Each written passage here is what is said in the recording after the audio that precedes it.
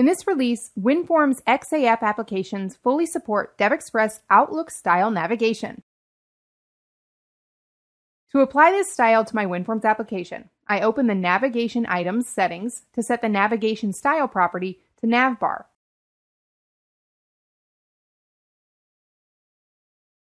And the Root Group style to Outlook Simple or Outlook Animated. I'll choose Outlook Animated mode to animate transitions from one group to another.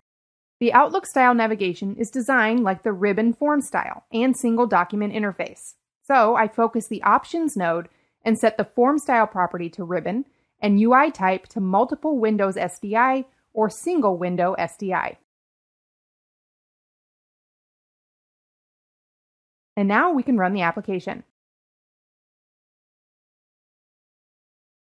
The Office navigation bar displays root navigation groups. The content of each group is displayed in the navigation bar as a list. The Office navigation bar settings can be adjusted using the customization button. I'll click this button to bring up a dialog that allows us to customize the number of visible items and switch to compact navigation mode.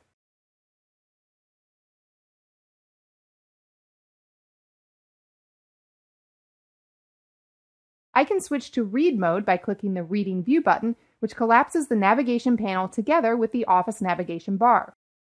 To return to the normal view, I click the Normal View button.